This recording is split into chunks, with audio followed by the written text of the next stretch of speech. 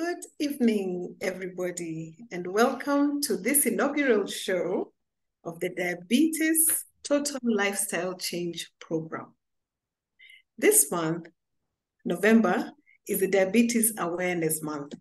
And interestingly, the quote or the slogan for the 2023 Diabetes Day is If there's diabetes, then we cannot live a comfortable life. That was last year. So let us fight against it and aim for a healthier life. Warm wishes to everyone on World Diabetes Day. That is why we are here today because we want to learn what diabetes is, how we can manage it, who is at risk, what do we need to do. And especially it's important because many of us are exposed to diabetes. Is it your father, mm-hmm. your mother, yourself, your friend. I know in my case, it's my dad. And so it makes a difference. I'd like to know what to do so that this program is a success. Who is at risk in your family? What do we need to do to fight diabetes? Well, the program will highlight this. And for the next six weeks, we shall be learning what to do. But on the inaugural show, we want to learn what it is that we need to do. How do we detect that we have diabetes? What do we need to do? What is diabetes? And how do we manage it in the next six weeks? To let her help us do this is um, Dr. Alice Ojwang, who is a very skilled nutri nutritionist or, di or dietitian. She has been managing diabetes for a long, long time. We're talking about over 20 years. So we can trust her skill, we can trust her judgment. And so we wish to welcome you, Dr. Ojwang. She is not only a practitioner managing diabetes, but she also lectures. And so we, we look forward to learning from her and using this information to help us in our lives, for those of us who are at risk and also for those our family members. So Dr. Ojwang, welcome to the show. Thank you very much. Thank you very much, Ms. Lorraine. We appreciate that you can help us. So thank you everybody for coming today. And um, we're here to support you, but maybe uh, before we continue, I'll just play a six minute video as we wait for people to come in, and then we shall continue with the program. Let me just share the, the, the video, and then we can uh, take it from there. Where are you now, video? Yeah, of course. Maybe as you get that, Dr. Ojwang, yes. the slogan for the for World Diabetes Day this November is "Know your risk, know your response" is the slogan for the World Diabetes Day 2023 campaign. And this focuses on the importance of knowing your risk of developing type 2 diabetes and highlighting the need to access the right information and care to manage diabetes related complications. So there we are today, learning the right info, getting the right information to manage diabetes. So Dr. Ojwang, please take us through. Thank you. You said three things. Please say it again. Know your risk. Know your risk, know your response. That's the mm-hmm. slogan. Yes. And it focuses on one, the importance of knowing your risk of developing type 2 diabetes, and then highlighting the need to access the right information and care to manage diabetes-related complications. Thank you. So as we wait for people to get in, please let's just watch a short success story. Introduce myself. My name is Jackson Gachuguma, a resident of uh, Samburu County, Maralal Town, the town headquarters. I'm a businessman involved in microfinance. I was diagnosed with uh, type 2 diabetes here in Maralal. I had a funny lifestyle. I was eating anyhow. I was doing things anyhowly. I and then a friend referred me to Dr. Eva. I traveled all the way to Nairobi and uh, was, lucky to meet uh, Dr. Nyawera and Dr. Eva. They really helped me. I was diagnosed with, uh, and now they they confirmed I had diabetes. I had a, a lifestyle problem. Um, uh, I was eating everything. I was also involved. I had taken some quite uh, uh, uh alcohol, and now I was also taking a drug known as prednisolone mm. because I had a chest problem, an allergy. So I had, uh, some, some, I remember uh, like 15 years ago, a doctor uh, uh, gave me a prednisolone drug. I, I had been taking it for the last 13 to 15 years. When I came to Nairobi, uh, Dr. stopped it because it's the one that caused diabetes. Now with my lifestyle, I had a lot of weight. You know, we didn't, I didn't understand uh, how to even take care of myself in terms of the diet. And after, after that uh, diagnosis, uh, they told me my, my liver was damaged. I had a lot of cholesterol. Uh, you know, my, my pressure was also high. Uh, I, in a way, I felt so sick, I felt so frustrated, but they referred me to Dr. Ojwang. That's where now I started the journey. And Dr. Ojwang, I, I remember we had a first uh, discussion. She was of great help. She advised me on uh, what I need to do uh, from the beginning. I started focusing on diet, the things not to do and the things to do, because there's a lot of hearsay when somebody tells you you have diabetes, you are told all sorts of stories. Don't eat this, don't do this, don't, you know, that kind of thing. But uh, I was properly advised by Dr. Ojwang. and I, I, I became, I, uh, I strictly followed DTLC. I joined the DTLC program and uh, I began the journey with Dr. Ojwang and she has been of great help. I've been attending these classes faithfully at 8 p.m. every Tuesday, and I can assure the team that uh, I've been able to successfully reverse my condition. I'm on, a, I'm on the on the right journey. I stopped alcohol. Dr. Ojwang advised me. Uh, I I uh, I focused on the diet, eating vegetables in the evening, uh, reduced the carbohydrates. I no longer eat meat in the evening.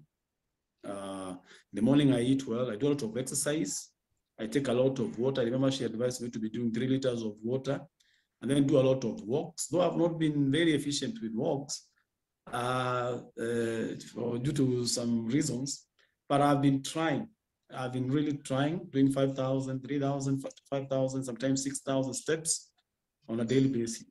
This is what has made me now have uh, Dr. reduce my drugs and uh, uh, I'm on I'm en route. I believe in the next one month or one and a half. By the time we're finishing this program, a very inspiring story. I think we've seen progress. We can see it on your face, and we hear you say it, and it is very convincing. Thank you very much for that. I don't know what you have to say to that, Dr. Ojwang. Sorry. Well done, well done. And this has just been how many weeks? precisely seven weeks. Because uh, the one week that we started with you, I, I, was still an amateur. I was not getting it right. So, but uh, but, but I was still making so many mistakes. But um, the seven weeks I've been focusing so much on the instructions by Dr. Ojwang and uh, following them uh, faithfully.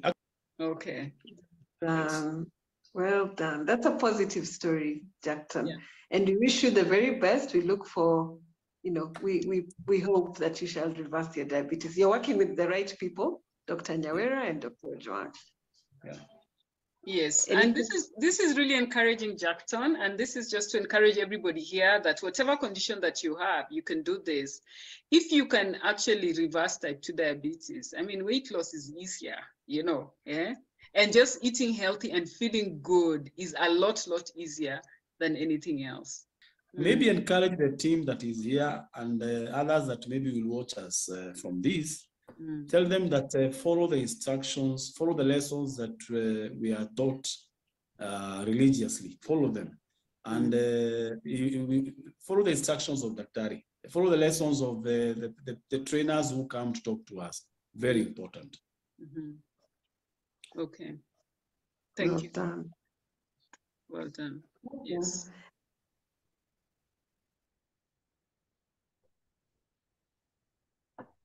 Yes.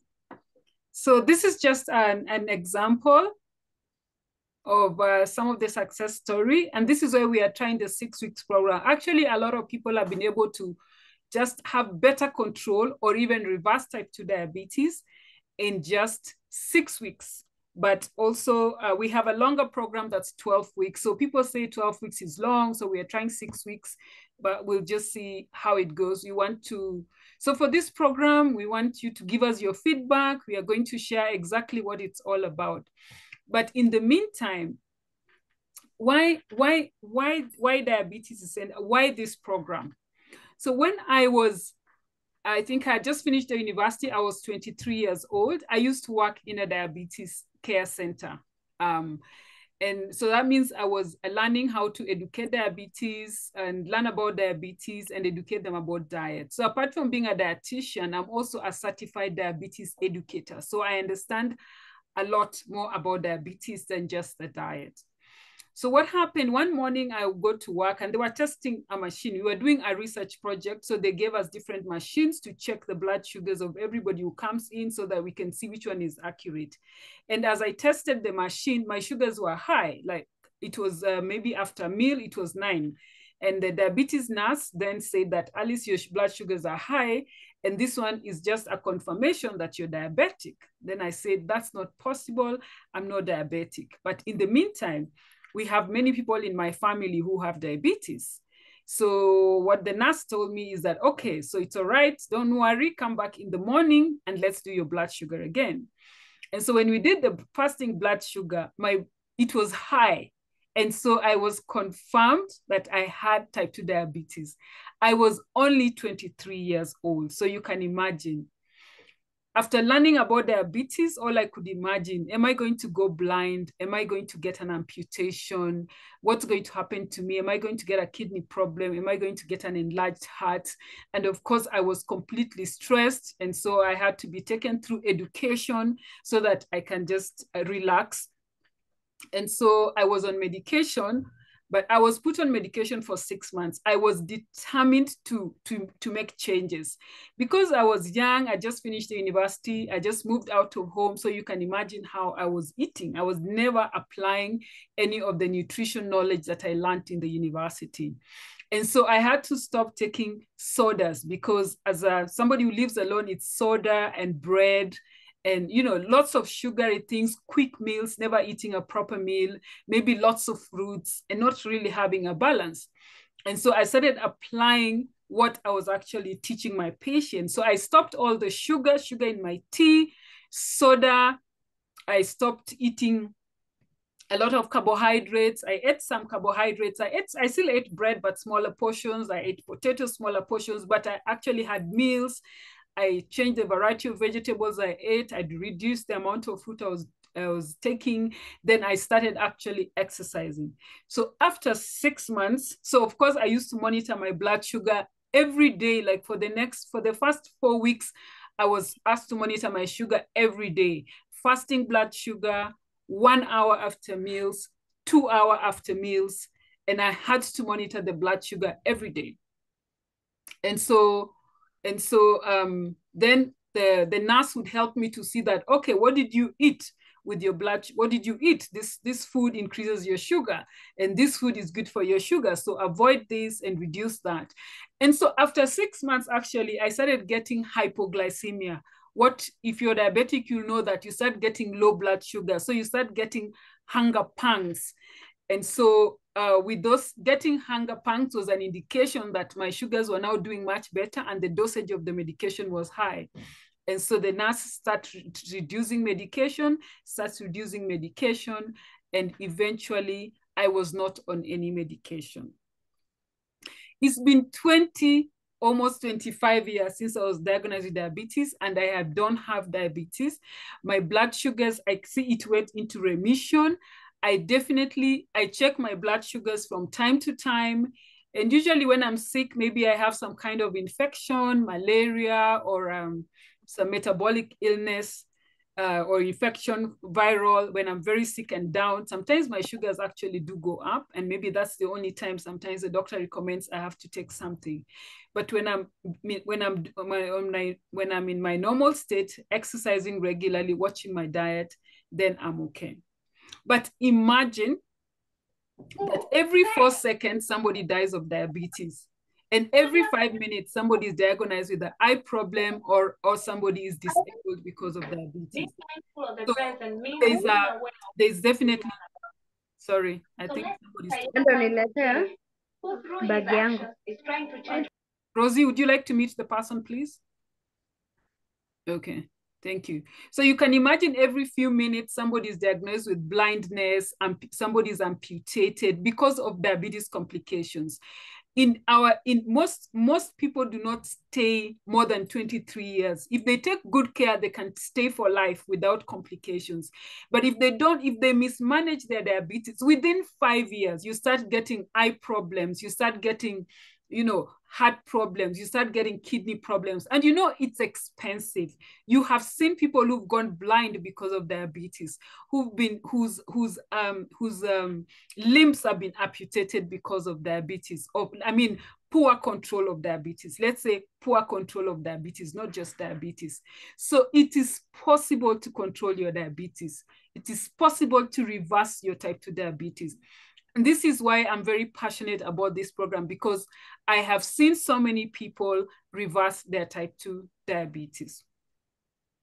And what, what really the experience is that most of the time, patients are referred to me when their blood sugars are already out of control, when they already have a kidney problem, or they are really struggling to control their blood sugar. This is the time most people actually seek for help and also most people are referred, unfortunately, by their doctors. So it always breaks my heart when somebody comes when the sugars are completely bad. But sometimes we sometimes we still manage to control. Most of the time you can control your blood sugar. If you get proper education and then we work together with the medical doctor to be able to prescribe accordingly. So it is possible to control. But i don't want people coming last minute when they already have a complication we, I want to start early. So if you know anybody who's diabetic, who is who's been told they're pre-diabetic, then if they start early, then they will control their diabetes. And imagine diabetes is a condition that affects the way your body uses food. So if you do not know how to manage your diet, your dosage of medication is always going to go up. And this is what we want to prevent, and this we want, want to avoid. So we are here to support you. Thank you, and over to you, Miss Lorraine. Thank you very much for that personal story. So we know you're not just talking, it has also happened to you. Yes. And uh, so it is real. And we trust that what you're teaching us is what we what you what has worked for you for the last 23 years. So thank you very much for that. So do you want to take it professional now? What has been your professional experience managing diabetes? Yeah, so um, my professional experience managing diabetes is like I think I already mentioned a bit of it. Most people come when their blood sugars are already very high and already out of control. But that is what you want to prevent. So when the patient comes to me and we go through diabetes education, and diabetes education involves knowing your numbers, what are your numbers? What does a fasting blood sugar mean? What is a good blood fasting sugar? What is a good um, one hour of postprandial blood sugars? You know, what is what does a good plate look like according to your age, according to your sex, and according to your needs? So usually when we I have a client come, we have to start by monitoring your blood sugar, and then we, we look at what do you eat? And eating means that we need pictures of your food. How does your plate look like? And then we're able to actually use that information to help you manage your plate. And just it's it's usually so simple. When people have realized this is the problem, the turnaround is usually very, very quickly. Yeah. Maybe I could do with some questions, Miss Lorraine. Okay, yes, I was going to ask that. So anyone with some comments or questions for Dr. Ojwang this far? You want to find out how successful the program is? What does it involve? How has her experience been? Any questions from the floor? Or any comments also? And Okay. Maybe okay. Alwell Deng, I'd like you. You have you have a question. Feel free to to ask or comment. Thank you. I'd like to ask, when someone has diabetes, does the outside appearance tell that this person has diabetes? Do they look, for example, do overweight people have diabetes, or can underweight people also get like the physical appearance? Mm -hmm. Okay, very good question, Alwell. You sound like a very young person. Very good question. So yes, uh, there is external appearance, but maybe I want to talk about the symptoms of diabetes. So the symptoms of diabetes include you have excessive thirst. You're thirsty, and so you drink a lot of water. And then in the process of also drinking a lot of water, you are going out to the bathroom. So you keep going for a short call. So you pee a lot. Then you also get excessive hunger. You're always hungry and you want to eat, which pushes your blood sugar to the next level. You feel extremely tired and fatigued. For people with type 1 diabetes, they actually get an acetone breath. So it's like an acidic breath. When you smell their breath, it actually smells like acetone okay? So so that is that is the signs of of diabetes. But also um adults most people actually are almost diagnosed maybe three years after because the the symptoms are not quite quite obvious. So maybe they will be going to the bathroom to pee they feel tired but it is not very obvious. Some people they just feel tired or they are trying to conceive they cannot conceive and they are just completely fatigued, but they don't have other signs of going to the toilet and losing weight. Maybe their weight is just increasing. And so what is good is always important to go for a blood test to be able to know. But the younger people, especially type 1, it's very easy to know when somebody is diabetes. And so you also asked, how about the external appearance? Actually, after working with diabetic persons for a very long time, over 20 years, I can tell when somebody is diabetic by just looking at them. And I can also be able to tell that their blood sugars are very high. And I can tell that they're actually already starting to have a kidney problem. But this is because of experience. So, you know, I cannot say those symptoms because when somebody's skin looks pale, sometimes they actually have anemia and it's not diabetes. But for me, because I've been working with diabetes, I can just look and I can tell. I guess it's because I've seen many. I used to work in the hospital, so I saw people who are chronically ill with diabetes. And then as outpatient, just managing them and seeing you know, when they come in and, you know, their appearance. So I can tell, and many doctors who work with patients, they can tell. Whatever patients they handle, if they handle, um, you know, somebody with cancer, they'll just see this one not good. If they handle people with the uh, diabetes condition, they'll be able to tell this one not good. So I can't tell by appearance, yes. And if it's a young person, I can also tell if somebody is just sick can tell if somebody has anemia. I can tell if somebody's sick and fatigued. I can tell if somebody's dehydrated. I guess that is uh, the uh, that's the reward you get by after practicing for a few years. Yes. Called experience. Thank you very much. Anybody else with a question? Thank you very much, well for starting off the discussion. Any other question? Any other hi there. Uh, hi. Hi, um, my name is Noelle, and I have a question. Yes, please. Um, I was, um, you mentioned that uh, when you started getting taking the medication, mm-hmm. um, you started getting the hunger pangs, and then that's when you knew that the medication is working. So, I mean, um, so how you know in practice, um, when you get the hunger pangs, pangs, your natural response is is to eat, right? So, is it possible that you know when you're on this diabetes medication, you could gain more weight, or do the hunger hunger pangs not do don't they have, uh, or does it not necessarily have an impact on your weight? Or you know, I'm just trying to figure out how to to manage that. Mm-hmm. Very very good question. So what happens? I'm even trying to get a whiteboard here so that I can explain better. You see, when you start taking medication for uh, which we call oral hypoglycemics. So they do different things. Some of them is to improve your insulin sensitivity. So what happens then your insulin, your body is sensitive to insulin. So when you eat the blood sugar, usually your blood sugar always increases. And then the insulin is produced naturally to lower the blood sugar. And so when your blood, when you're when you start taking medication, it means natural, it means your body has got two defenses for lowering blood sugar. We have naturally your body still producing some insulin to lower the sugar, and then you have the medication. So if you've already maybe started exercising, that already reduces your blood sugar levels. When you start watching your portions, that also reduces your blood sugar levels. So it means you have four things that are taking your blood sugar down. And so when your blood sugar actually becomes very low, you start getting hunger pangs. So it means the sugar levels are going very low.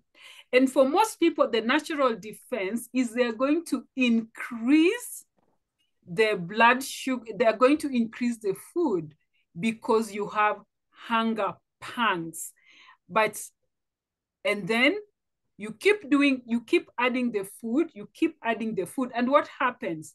Then your sugar increases and your medication increases, and so you can gain weight. So what you need to do when you start getting hunger pangs, and naturally, if you're managing your diet, exercising, the blood sugar, those two things will reduce your sugar and then the medication. So it's your dosage that needs to reduce. So when you're managing your diabetes, managing your diet, then you start getting hypos. It's an indication that your blood sugars are now getting better or your insulin sensitivity is better. And so you need to reduce the medication.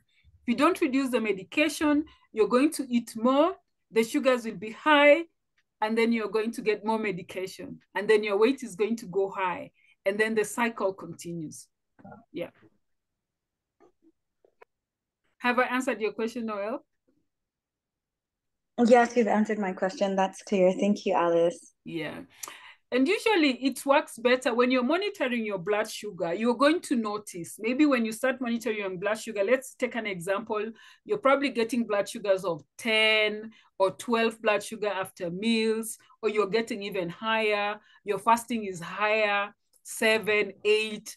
So then when you start exercising and monitoring and, and losing and um, changing your diet, then your blood sugar starts lower, your blood sugars get lower. And you can see from monitoring from getting 10s, 12s, 13s, 14s to maybe getting six, seven, eight, nine. Then you know, then it starts to get lower. So when you monitor your blood sugar, then you actually know the blood sugars are lower. Now I need to go with the doctor with my data so that we can reduce the dosage of medication. And this is some of the things that we're going to teach you. We're going to teach you how to monitor your blood sugar, how to be able to know the blood sugar is high or it is normal or it is low. And so you need to, you know, just uh, keep a chart which will provide and be able to tell you this is the sugar. You, you will record your blood sugars. And then you will see them going lower. And when you get to another level, you now go to back to your medical doctor, your practitioners with your with your data and say, here, my sugars are lower, please lower your medication because you will see the high hypos. Yes, thank you. Good. Thank you very much, Noel, for that. And thank you, Dr. Ojwang, for conclusively answering that. Raphael, next question, please. Yeah, I'm. I have a question because I don't know anything much about diabetes. Um, I have some symptoms like fatigue, and I'm all, all always hungry, but I'm not sure about this if this is um, diabetes. But I have a general question first. It is to do with there is diabetes one and diabetes um, 2 mm -hmm. And I have a friend, I think he's diabetes one. He was right as a child, as a young um, four or five year old, already um, diagnosed as being diabetes. And I wonder if um, is this um, is this the reason that the pancreas is damaged right from the start, or is there something that can't be reversed, I think. Huh? That's my question. Okay. Thank you very much, uh, Raphael, for the question. So the fact you're feeling hungry all the time and fatigue, it could be just maybe your exercise habits. Uh, people who exercise hard have a high muscle mass, and if you don't if you don't actually manage your diet, then you find that you're very hungry and you're very fatigued. And so we can start by maybe that can be the problem if if you score high on very good exercise. And then secondly, depending on the age, we can be having maybe something like anemia. Okay, so anytime we are 50 years plus and we start feeling like this, so we need to check anemia. And you also just need to check for diabetes. There's a test called HbA1c, uh, uh, glycosylated hemoglobin. So any doctor would just check and it will tell you what's your average blood sugars for the last three months. That should be able to, to, to, um, to give you an answer. And so because you're not supposed to feel fatigued and you're not hungry. So in this program, we'll be able to also answer that question and work with you until we get the answer and manage the symptoms. So what is type 1 diabetes? Uh, you asked the other question was the difference between type 1 and type 2 diabetes. So type 1 diabetes is actually when um, um, what happens is somebody gets an autoimmune condition where the body attacks itself, let's say. So it's an, an immune condition where the body attacks itself and also attacks the beta cells. Beta cells are in the pancreas, and these are the ones that produce insulin. So the, an autoimmune condition can actually destroy the beta cells. And so you're not able to produce insulin. So a type 1 person will need to be using insulin. They are dependent on insulin from the time that they are diagnosed with diabetes. This kind of diabetes is also very aggressive. And if not well managed, people get complications very early in life. But if they are well managed, still they will they will live long enough to die of old age and no diabetes complications. Type 1 diabetes, unfortunately, cannot be reversed because it is beta cells. There are actually research that shows that they can have they can have transplants of the pancreas and it can then they can actually cure their diabetes, but that is just research, not yet large. So it cannot be reversed, but they can also control their diabetes and prevent complications by all means. Type 2 diabetes, and uh, wait, wait, let's finish type 1. Type 1 diabetes, you can also get it when you're an adult. There are people who get it when they're in their, you know, an adult, 30s, 40s, and you can even get it when you're in 50s. Sometimes when type 2 diabetes is not controlled, people are given insulin, but then they think they're type 1. No. Sometimes when you're type 2 diabetes, it means you have insulin resistance. So your insulin is not working normally because of various issues, mostly because of also lifestyle problem. You know, you're overweight, you're always tired and fatigued, you don't have a good lifestyle, you don't sleep well, you don't eat well, you don't rest well, you don't you don't take care of yourself. And so then it increases your risk. And also if your family have type 2 diabetes or diabetes, then your risk of getting diabetes is high. So type 2 diabetes is a progressive disease, means if you don't manage it very well, it gets worse. So it progresses and it gets worse. So you can get, uh, you can damage your pancreas. And so you also have to take type 1, uh, you also have to take type, uh, I mean, you have to take insulin to manage your diabetes. Type 2 diabetes can be reversed if you haven't yet moved to type 1 diabetes. It can be reversed. And there are so many people who have been able to reverse it. It's actually called putting it into remission. Meaning, if you change your lifestyle, change your diet, change your lifestyle, like we'll see what it is you have to change, then you reverse diabetes, and then you actually work on maintaining a healthy lifestyle. Then you can, it can be on remission for years. But if you change, put it into remission, then go back to your old lifestyle that impacts your sugar, then you're going to get it right back and in full swing. Yes, thank you. I hope that answers. If you need any clarification, that's also okay. Yes. Thank you very much. Yes. Okay, you're welcome. Okay, thank you too. Um, I think I saw Aluel putting up her hand again. If we have nobody else, so we have two. Aluel, let me take somebody else before you. I think, um, who do I have? I have Aluel first then. I can't see the other person. Mm -hmm. The other person is Shiko, Shiko Gashiri. Yes. And then okay, there's also so Sarah. Mm -hmm. Okay. Let's start with Shiko then, then Sarah, then Aluel, in that order.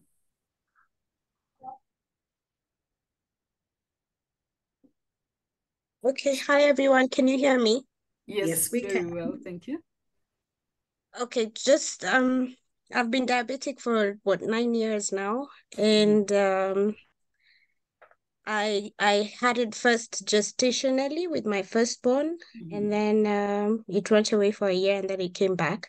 Mm-hmm. So um, for Dr. Alice, this is a question for you. You mentioned something like you can you it can go in type 2 diabetes can go into remission if it doesn't become type one mm-hmm.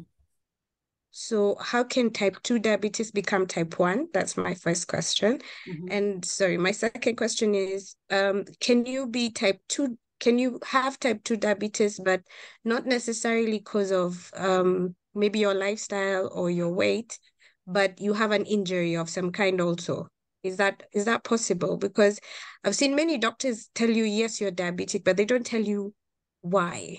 Mm-hmm. I mean, yes, you you have type 2 diabetes, but why are you why i mean that's mm-hmm. that's the question i always ask myself because i i think mm. if i have an injury um then it probably won't reverse so if i even try to reverse it and i don't know that i have an injury so how do you tell why you have the type 2 diabetes okay thank you very good question thank you shiko it's nice to see you here again I hope we are going full swing this time. yes, yes. Yes. So um so very good. So let's just say the other types of diabetes that we didn't mention is gestational diabetes, which of course becomes because of hormonal changes due to pregnancy. And then we also have another type of diabetes that is called impaired glucose tolerance. That's just a pre-diabetic stage where um, your body is um, is able to utilize the sugar, but it takes a very long time to utilize the sugar from food. So how can type 2 diabetes become type 1? So when when I when I what I mean by that is that you become insulin dependent. So let's let's just say you reverse to type 1.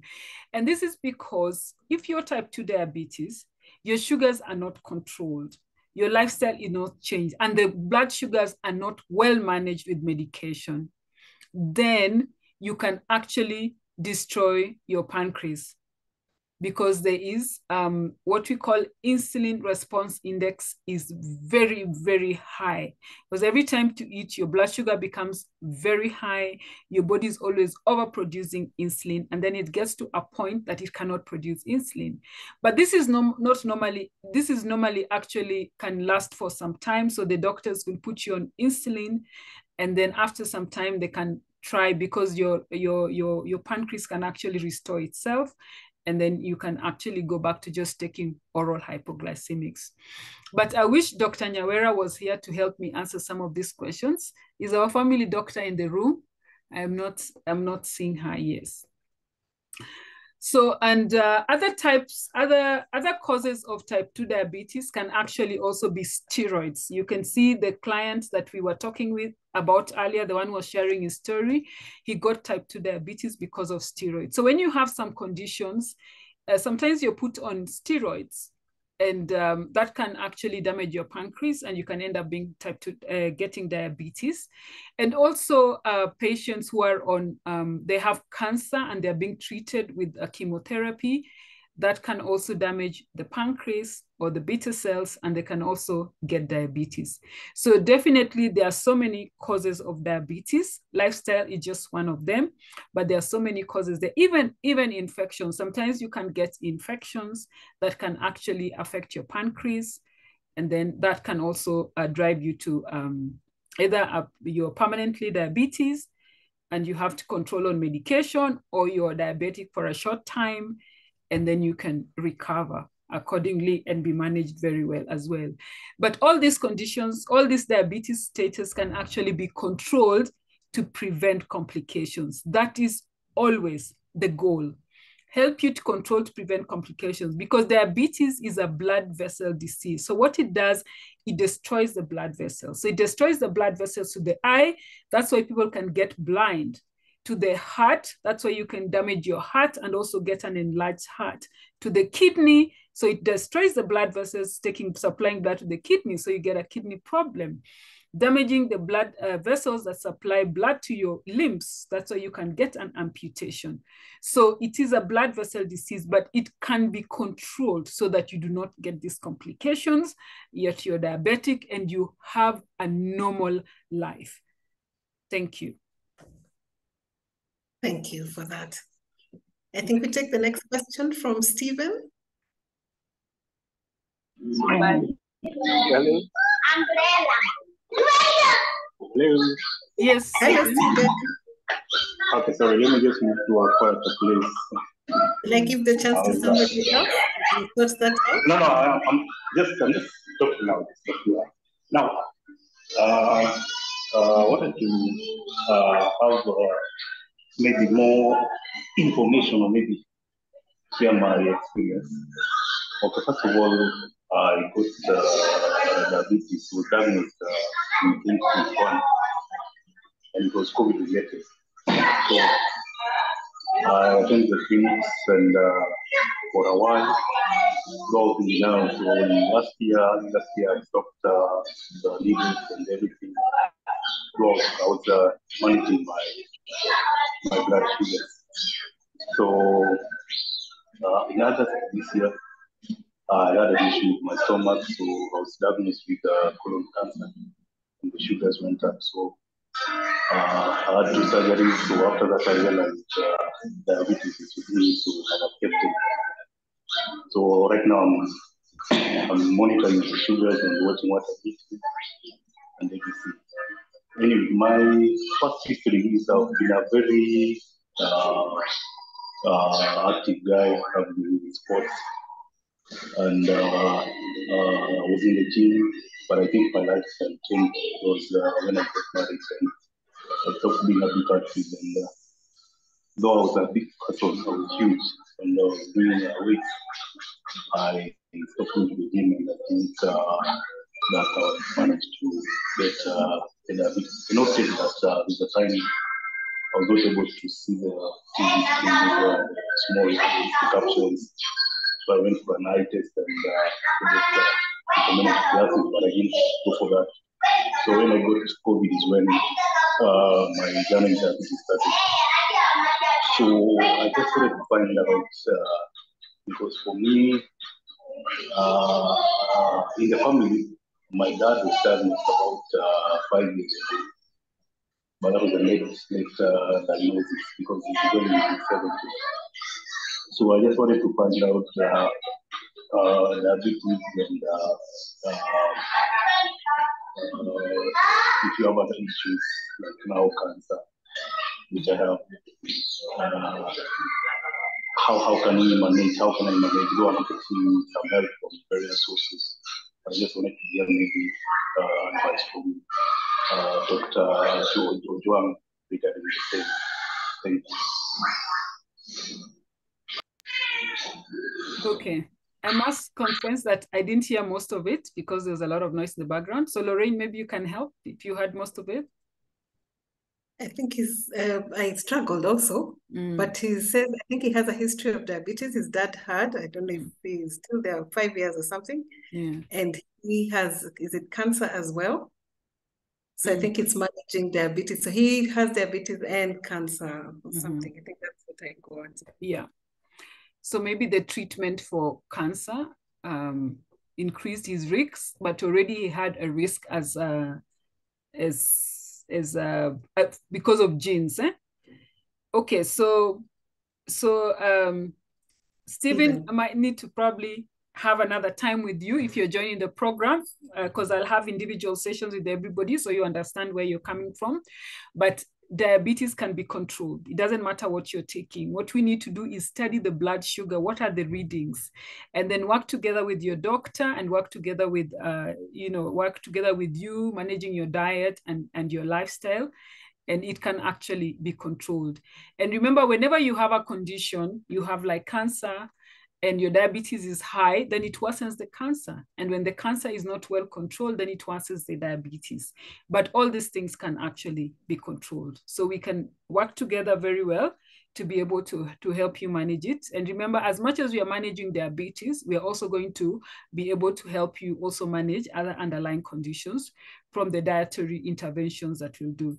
Remember when you're diabetic, maybe you have di you have hypertension, you're being managed for hypertension, then diabetes, then you're being managed for cancer, then you're being managed for cholesterol.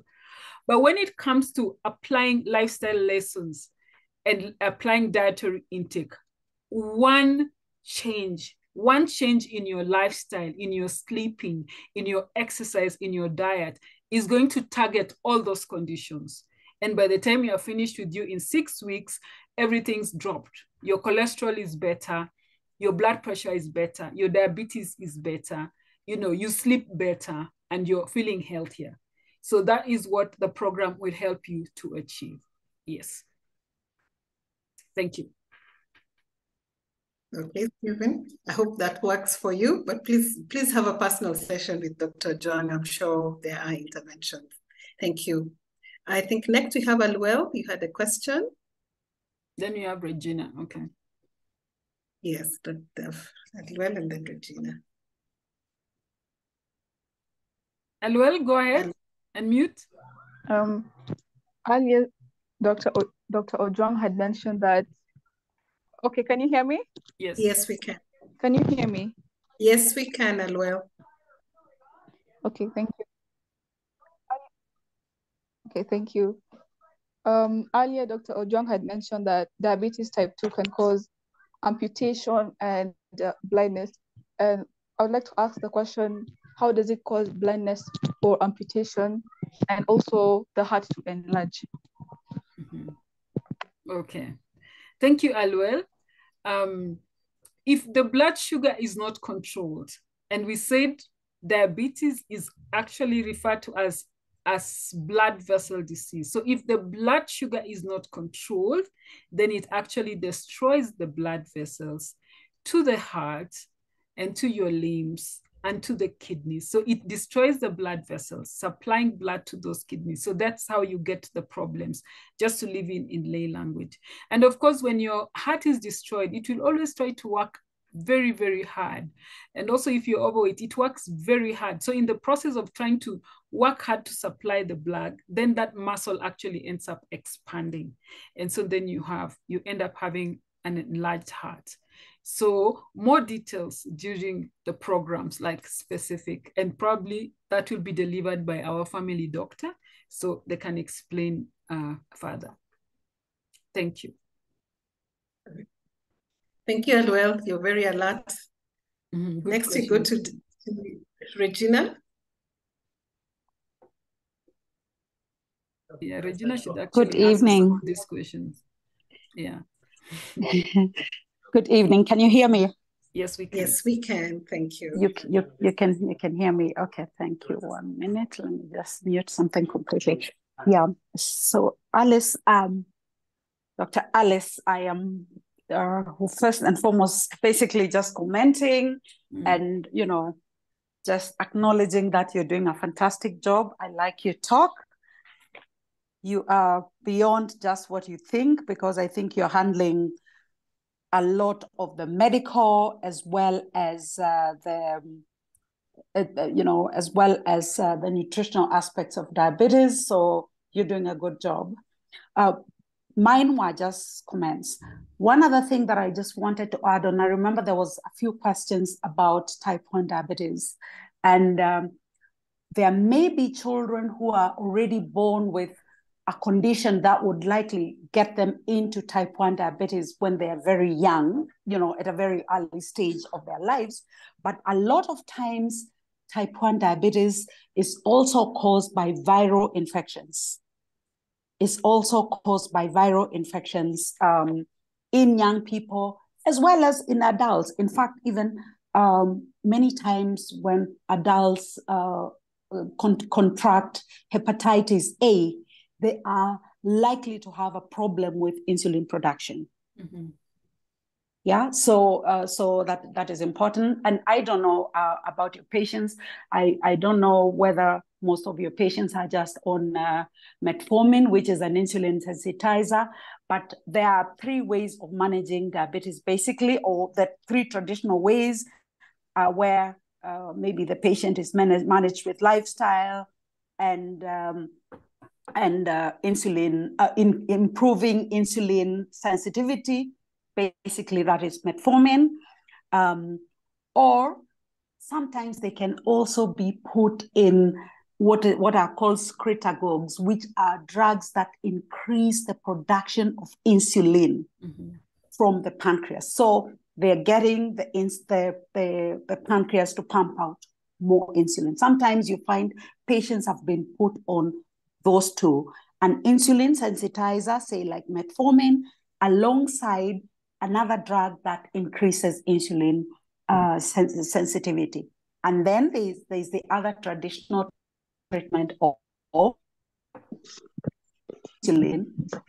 A patient is being given insulin uh, supplementation alongside um, uh, insulin sensitizer like metformin.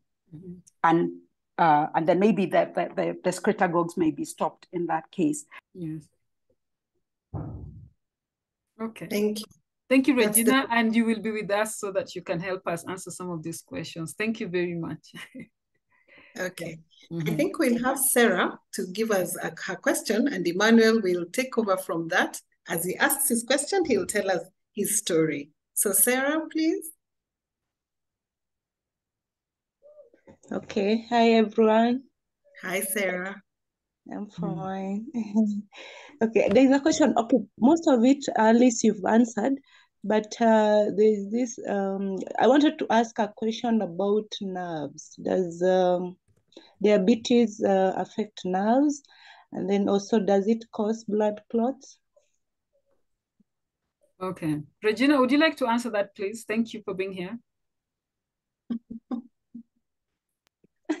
okay, what what are, what what uh, from the knowledge that I have, I'm not a doctor, but I have worked in uh, the area of diabetes a good maybe half of my life, so I think I know quite a bit about diabetes. So, the, as Alice said, the main thing about diabetes is that it is a vascular disease. So it affects both the macro and the micro vessels. The macro is the peripheral, that is like the legs. That's why you find people getting amputated because blood is not flowing properly into the periphery. And the micro is where it affects the retinal blood supply, so they can go blind. Uh, it affects the kidney blood supply, so someone can already have kidney complications, kidney insufficiency, and all that. A, a lot of times, uh, there tends to be a nervous um, like peripheral peripheral nerve damage in in in in diabetes. So you will find that a lot of diabetic patients will also now, on top of having vascular problems, they will have peripheral nerve involvement. So that is what again would cause uh, them not to have sensation in the periphery, and that's why you may find people getting injured in their, their legs and they end up getting they end up getting amputated uh, maybe they've developed some gangrene or something like that. So there is a peripheral nerve involvement as well. Uh, there was another one. What uh, did i miss one other one that uh, blood blood clot. Can a diabetes person get blood clots? Now, uh, it, diabetes does not lead to blood clots, but usually what happens is that it leads to vascular uh, see, actually, that type 2 diabetic patients are treated like as patients who've already had a heart attack, which mm-hmm. is called also a myocardial infarction. And, mm-hmm. and this is because you find that when one has type 2 diabetes, uh, then other metabolic uh, conditions set in, like uh, abnormal cholesterols. And that leads to, you know, um, uh, thickening or blockaging blockages of vessels and particularly coronary vessels and when someone has diabetes they are more likely if they're not well managed if they're not well managed or managed at all to get a heart attack because they are likely to get a blockage in the coronary arteries, and that is what a heart attack is. Yes, thank you. So actually, yeah, diabetes increases the risk of plaque buildup. So your your blood vessels actually they form plaque. Maybe if you excuse me, I will just show you um, something that happens. So you can, so because you're, oh, because you're going to form a plaque buildup, then you can actually form a clot. So it's same thing. It makes your blood vessels to form a plaque, like it reduces in size, and then that increases your risk of forming uh, blood clots. And just like Regina said, diabetic is always treated as a, like you have a, going to have a heart attack to prevent that. And any diabetes is poorly controlled, then is going to actually get a problem with their clots in their lifetime care. And so this is some of the things we want to prevent by actually helping you to manage and control your diabetes. Thank you. Thank, Thank you, you, Regina. Consultant Thank Regina, for for that uh, for that input, and then thank you, Alice. Mm -hmm. um, Emmanuel, you raised your hand to ask a question, but you are slotted in to talk to us about what your experience has been uh, and in Dr. Zhang's program or the DTLC program, where to really tell us, has it worked for you? Was it worth it? Did you benefit? Just share your experience so that uh, all of us can know we're in the right place, getting the right information for diabetes. Okay, so uh, hello and good. Uh, I'm not too sure what time zone you're in, but good evening, everyone. Good evening. My name is Emmanuel Jonah. Um, I, I, don't really have a question. I actually raised my hand to to pass a comment, uh, listening to um, the comments and the questions that were, you know, being bundled around. Okay, so I I was in the last, um, uh, should I say, session of the of the program. Mm-hmm. I, I, don't want to jump to the end, but let me first of all start with the, my a bit of a background um, information so that you get to appreciate where I'm coming from. So at some point, um, a little over a year ago, I was uh, diagnosed with a condition. I've forgotten what the, the medical name is, but basically my heart was not pumping enough blood to the rest of my body. And so um, at some point I actually passed out. And that's what necessitated my going to the hospital to to have myself, you know, uh, do a complete checkup to, to be sure what was going on. Mm-hmm. And so after that, I was put on a number of medications. I actually shared that with uh, Dr. Alice. And um, what, what happened was I decided to take, a, I mean, turn over a new leaf. I didn't really know what I was doing, but I decided to change my lifestyle, as it were. And then along the way, I got in touch with a friend of mine, an old schoolmate of mine, um, who is into nutrition, and she introduced me to Dr. Alice. And so that's how come I got onto the program. I got onto the program not knowing what to expect uh, mainly, but um, with a lot of, you know, um, expectations, if I should put it that way. I didn't know what to expect, but I had some good hope based on what my my my mate had mentioned. Now, um, this is what happened. So going through the program, I realized that um, my food choices, first of all, changed. My my I'm from Ghana, and typically most of our foods are carbohydrate based, and so I was doing a lot of carbohydrate, a lot of carbohydrates, a lot, and I'm sure that was probably one of the contributing factors to the condition that, that I was diagnosed with. And I realized over time, going through the program, my food choices, as I mentioned, changed. Um, I was doing less of carbohydrates. I don't want to go into the specifics. I'm sure when you go through the program, you will appreciate everything I'm talking about now. But I realized my carbohydrate carbohydrate intake went down significantly or to uh, some uh, reasonable levels. I started taking a lot of vegetables, and that I must be very honest with you. Vegetables has literally changed my life, if I should be honest with you on that. And now anybody that I meet literally knows that, look, as for Emmanuel, um, if you want to get him, give him vegetables. That's basically it. And the next thing is exercising. I grew up as a sportsman, but somewhere along the way, I lost, you know, touch with having to exercise and all that. But going through this program, I realized that it was something I had to take seriously. And so I was basically, I, I, since then, even now, today I had a good walk. I've been walking all through. Almost every day, I try to do a certain uh, I set a target for myself and try to do that that as a minimum number of steps in that day. And it's it's really changed my life. The kind of food I eat has changed. Exercising. Now I sleep well, even though I'm still struggling to do the the required minimum number of, of sleep hours.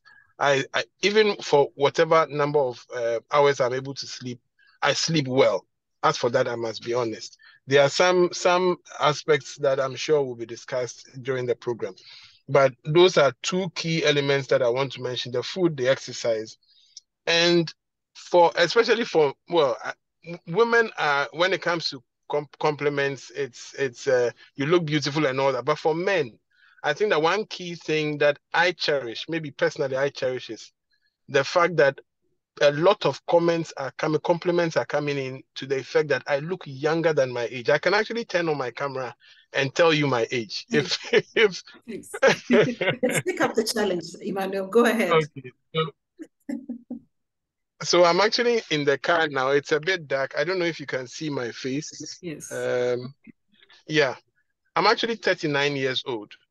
And initially, people were telling me, I mean, people thought I was 45 plus. But when I went through the exercise, um, I started taking the, the routine seriously. I realized that I was now getting more compliments to the effect that I look younger. Just a, just a few days ago, I was I traveled out for a conference, and at the conference, somebody that had you know I've been with for a while and knows me quite well uh, saw me and was quite surprised and asked, uh, "What have I been? What have I been doing?" Because he's realized that I've really lost weight. And when I say weight, I'm talking about I was in excess of 105 uh, kilograms. Now I'm doing about eight. The last time I checked, between 88 and 89. So you can imagine the the, the, the change. I even tell tell the guys that look now I have six pack, and it's all because of uh, the routines I'm on now the lifestyle changes more significantly the lifestyle changes. And i think that that's one interesting thing that this program gives. Uh, it, it will give you a whole 360 you know change in your lifestyle. You might think that you are doing everything right so you meet dr alice. After that i will say that any day anytime. Because um, now things have settled for me. I don't have any issue. I used to have some palpitations.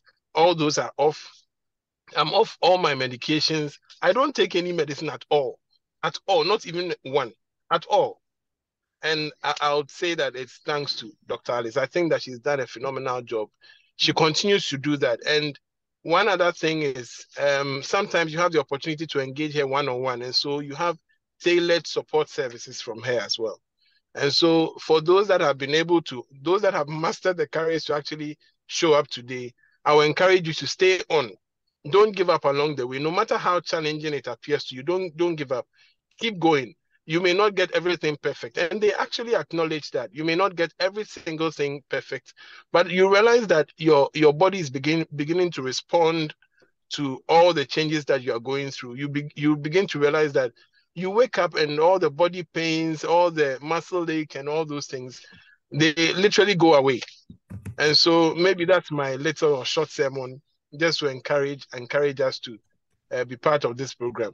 Um, I'm going to make it a point to talk to a few other people to see some people within my industry that I think really need help. I'm going to try and encourage them to join because um, what this program has done for me, I can't put value in terms of monetary value on it. I think that is priceless.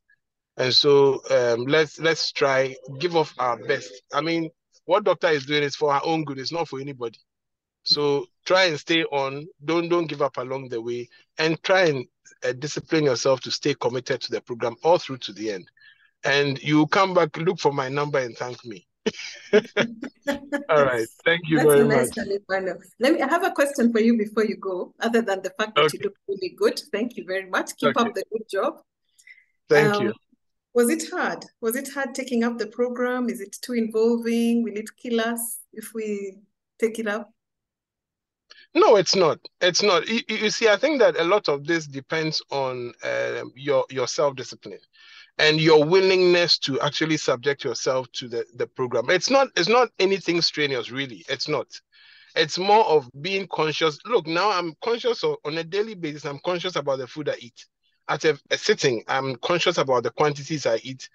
uh, yesterday I was at a restaurant eating with a family, mm-hmm. and it, was clear that look, um, Emmanuel is managing his his carbohydrates. His, you can when you look at my plate, you can actually see, you can tell that I'm very conscious of the food I eat.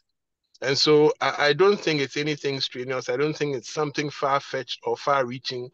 It's something anybody can do once you commit yourself to do it. And like I said, nobody is perfect. So you may not get it all at the same time. But over time, when you look back, you realize that things have changed. Your body would have changed. Your eating lifestyle would have changed. Your exercising, even your breathing. You know, you realize that your system, the, the body has changed or is responding positively. And so I don't think it's anything extraordinary in terms of uh, being able to follow or strenuous. No, nothing like that. Thank you. Very good. And maybe another last question is how many tablets were you taking before? You mean you mean the medication? The medicine. Okay, so the medication was basically to prevent blood clot because the doctor was not was not too sure whether um, I was having any blood clot issues. The other was to also help the the heart to pump enough blood to the rest of the body. Now let me just explain this other side. So the range that was given to me as normal, um, I don't know what the term is, but basically be between 55% and 70% is what the heart is expected to, to pump out, right? To be able to supply blood to the, the, the rest of the body. I was doing about 45. And by the time I came off the medications, I was doing 63. Mm -hmm. And this is over a period of, say, maybe six, seven months. Mm -hmm. You know, so so the, the in fact the doctor was surprised. The one who did the test, the, was it ECG? I've forgotten what the test is, but he was also very surprised. And so I think that once you you get on the program and you commit yourself to following what you are taught, because look, you might think you know, but when you come in, you realize that I didn't know about the, the double caps, triple caps, and all those things. I didn't know anything about that. When I was growing up in school, I mean, everybody knew that uh, what we call carbohydrates is basically carbs. That's it. But I didn't know legumes. I didn't know even um, uh, plantain and all those other, you know, I didn't know all that were. But, but I'm sure I'll reserve that for for those that are, you know, coming in to join the program to learn. It's a good learning cycle uh, or learning curve. So um, let's commit ourselves to it. Thank you. As you were saying, you, you used to take a lot of medicine, eh? Like yeah, as for the medication, yes. The, sorry, I, I lost that along the way. Um, yes. The medications, um, I may have to check the the dosage and then share it with you later. I've taken all those. In fact, I've wiped everything off my mind when it oh. comes to That's a good problem. I'm not too sure what to tell you, but yeah. Okay. Medication is not something I like, and so that's okay. one one motivation for you know staying on to make sure that I get things out this medication out. So let's not take you back there. We will take you back there. Thank you so much. Okay.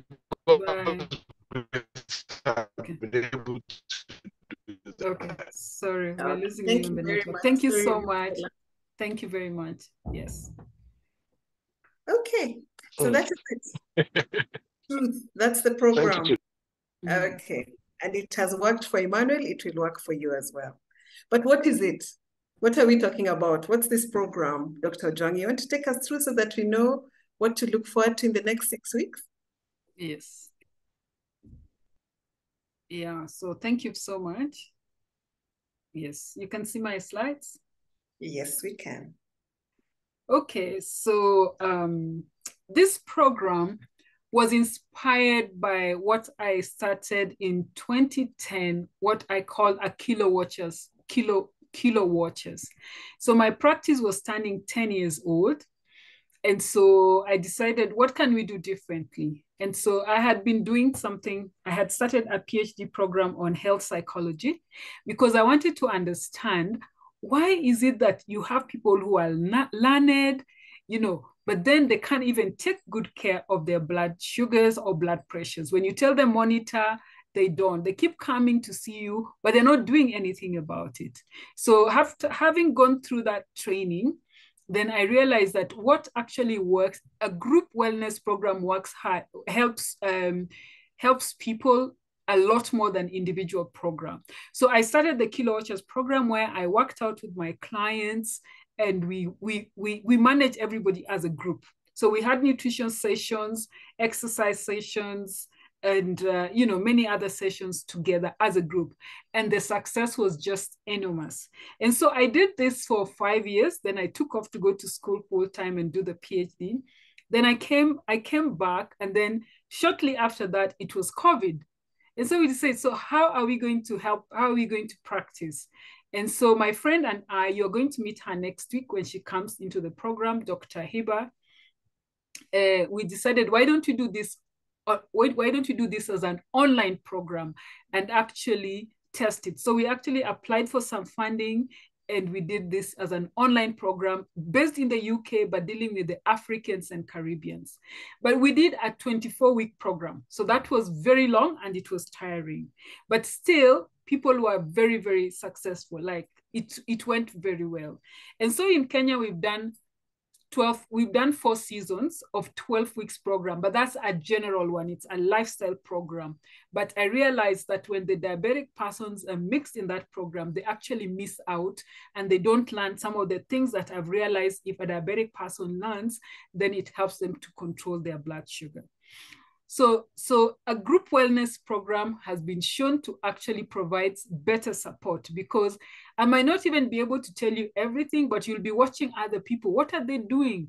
This is how they're eating because part of the program, you'll put your plates and you will ask questions. And so everybody benefits. So you have other people holding you and not just me.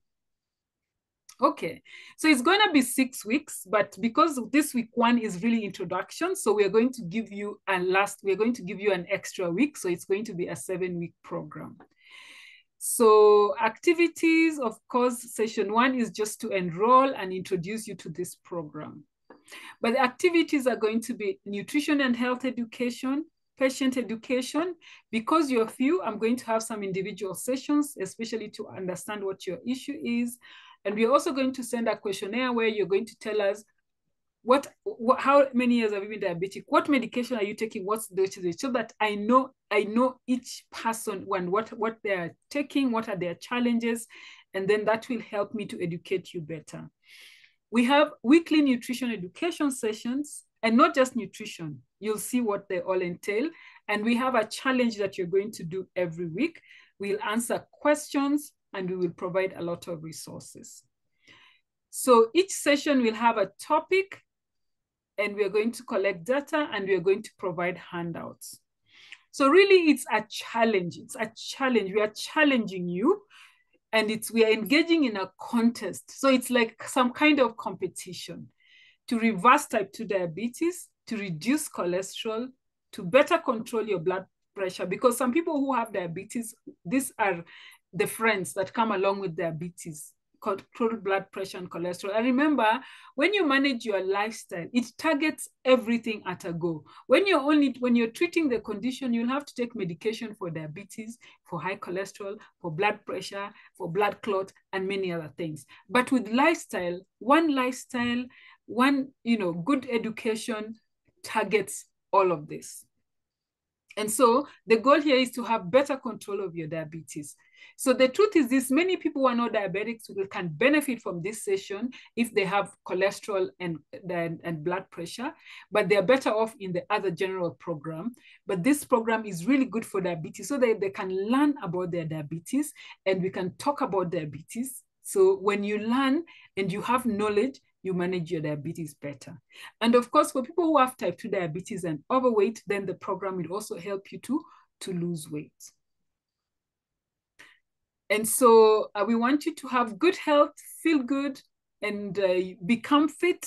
And also, of course, when your diabetes is not controlled and you don't know what to do, then it also affects your emotional health. So, and of course, sometimes your emotional health also affects the way you eat, which affects your diabetes. And we're going to have a session on live. So the TLC, the D actually means diabetes or diabesity. My specialization is in obesity and diabetes. So don't feel bad if we may use the word obesity, not at all, because it's just a lot of, it's just a condition that we can manage. So total lifestyle change means that if we actually change our lifestyle because you will learn how sleep affects your diabetes and your health poor sleep or circadian rhythm, how you can exercise. and not sending you to the gym or to go to a weight to a weightlifting context. No, just making a few steps every day, how that can actually manage your diabetes. And over time, with support and guidance, and we also are learning from each other, we will be able to achieve that. And please note that if you want to get something you have never gotten before, like be able to control your diabetes better, you've got to do something you've never done before. So for goals, the goal setting, we're going to cover that next week. So I'm just going to jump through that. But the type of goals we want you to set is your blood sugars control goals, dietary goals, fitness goals, health goals, and of course, your lifestyle goals. We, we for people who have already paid, we've added you to a group and we will add everybody to the group. So this support, this group program is going to provide fitness support, glucose control, because you're going to uh, in, in share a lot of information. Dietary intake, we want to see your pictures. There's an app that we are going to send you a link to, to download. And when you when you join this app, we can see everybody's step, everybody's steps. So we can be able to see in a row, we are going to be maybe 10 or 15 or 20. Out of these 20, where are you? So you'll find that the highest person will always be top if they have more steps and the last person will be last. So we, that also motivates people. And so this is the app. We're just going to send you a link, so don't worry about it once we create it. We expect everybody to post their food because from this that you put in, we're going to learn and be able to tell you. And when we learn about what you call carbohydrate eh, intelligence that, um, that Emmanuel was talking about, so you'll be able to know if you're having a double carbohydrate, triple carbohydrate, and how that affects your blood sugar. And then usually when you post your foods, we'll analyze it as a group and also we'll analyze it as an individual. And so we'll be able to recommend how should you eat.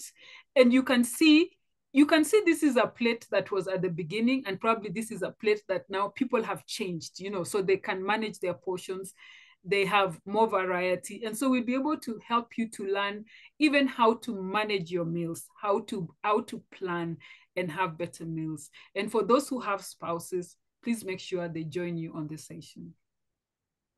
So we're going to have week one to six. Like I said, we'll give you one extra week. So defining week one will be defining diabetes. What is your why? Why are you here?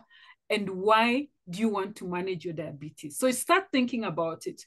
Because if you don't know what your why is, you're not going to be successful. So we want all of you to be successful. So we want you to identify what is your why. Then we talk about glucose monitoring and medication management. When Regina was answering questions, she was talking about, you know, you're put on medication that increases insulin production, you put on medication that reduces, uh, that increases insulin sensitivity. So really, what medication are you taking? Do you know what it is doing?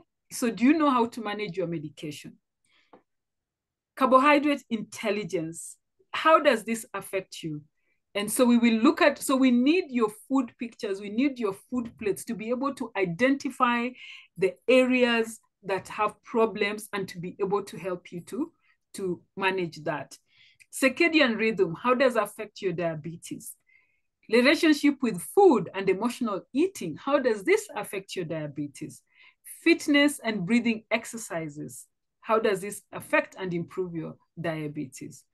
And of course, managing comorbidities, extra information on how do you manage your diabetes, your, you know, other conditions like blood pressure, cholesterol. But like we say, there are some people who have cancer. How do we manage it with your diabetes? So for some people, we might actually have individual sessions and then, or rather than group sessions. But most of this is going to be discussed in a group. And so we will all learn this and any other information that's important for you. If we realize at it that six weeks is not going to work, then we might extend to 12 weeks and we will just need your support so that you get the best out of this. We'll provide for you resources. We have books. We will recommend apps that you're going to use, especially to monitor your blood sugar. Uh, we will provide meal plans for you but this is only going to come maybe at week three because you need to you need to post your food pictures and don't be shy we're not going to judge anybody. We need to know what you're eating. I can't start prescribing for you food before i see what you're eating. So we will need to see your meal. So start taking pictures and start posting on the group. Don't be shy. If you're afraid to post for yourself you send to me as an individual and then I'll just post them in the group. And we will provide links and more information to be able to support you. And of course, remember, taking drugs without eating properly is like washing your hands and drying them in the dirt. And so I promise you, I've done this for so long that I can promise that if you make just a little bit of the changes, not even a hundred percent, you will actually be successful in controlling your diabetes. Thank you very much. Over to you, Ms. Lorraine. Thank you. Thank you very much. So we do agree. We know your risk, know your response. And what has happened, we've been able to focus on knowing that risk of getting type 2 diabetes. And we are now get in the next six weeks, we shall get the right information to help us manage diabetes and related complications. And so we shall be acting in tandem with the 2023 Diabetes Day slogan. Which is? Now, which is that? Which is what I've read. Know your risk, know your response, get okay. the right information, and manage diabetes. Mm -hmm. Good. Yes. Now, what is the investment? Because you have to put in something to get. So uh, Dr. Ojwang mentioned we've opened the group already for those who have paid. So the amount paid in Kenya shillings is 15,000 Kenya shillings for the program, for the six-week program. In dollars, for those of us from the country, from around the world, Dr. Ojwang, that comes to USD. $100. 100 USD or 100 euros, uh, depending on which part of the world you are. So yeah. 15,000 for the Kenya shilling, uh, for, for the Kenya population, 50 euros or $50 for those of us watching from out of the country. 50. 100. so they say $100. Oh, yeah. my bad. Sorry. 15,000. Let me say that oh, again. okay, okay. So 15,000 Kenya shillings, 100 euros or $100 for those of us out of the country. I hope that is clear. Mm -hmm. um, I hope that is clear for all of us. So that is your investment, but what you stand to gain is so much more greater than that investment. Or what do you say? The return on investment is much higher because you get to reverse your type 2 diabetes or send it into remission. Or like Emmanuel said, reduce the amount you spend on drugs. And you'll know, again, whatever investment you make is actually cheaper than what you spend on the drugs. So think about it. Make the wise choice and manage your diabetes. I hope you have enjoyed being with us today. Any parting shot, Dr. Ojwang, before we close the show? Yes. So the parting shot is, so remember, genes load the gun, but it's your lifestyle that pulls the trigger. So if your parents have diabetes, your relatives have diabetes, you can still control it and put it into remission. It is just your lifestyle. Yes. Okay. Thank you, Dr. Ojwang. Mm-hmm. Regina, parting short. Uh, it's uh, it's not really a parting shot. It's a question. I just wanted to uh, find out these sessions. How long do they run? Mm-hmm. The, uh, my biggest uh, competitor to to health is probably time. Mm-hmm. so I think it's good to know how long it takes so that we can be able to really work to ensure that we participate. Okay, thank you very much. The sessions actually run for 90 minutes, one and a half hours, and we do it at 8 p.m. And this is because um, having started, I think the first session used to be like at 6 or 4 p.m., season one.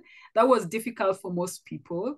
And then the suggestion was that we move it later and later. And we found that eight o'clock work. In fact, we had an, a lot of people who had children and they're like, by 8 p.m. Kenyan time, we have put children to bed. And so we are all relaxed. And for people who came from work like me, I've rested a little bit. So it starts at 8 to 9.30. So it's one and a half hours strictly. Thank you. Okay. Mm. Good with that. Sorry, every day? Is it every day? every hmm. week. Every, oh, every week. So it's going to be every Monday at 8 p.m. So set your alarm and set your calendars and set your clocks so that you know that 8 p.m. every Monday we're here for the next seven, for the next six weeks. Thank you. I think that that's good, and Monday is a good day. Yes. Okay. Good. Thank you. Thank you so much. So, I it, I think that was a good start to the DTLC mm-hmm. for season six, but this is special diabetes, total lifestyle change. I saw an interesting quote about diabetes that flips it the other side.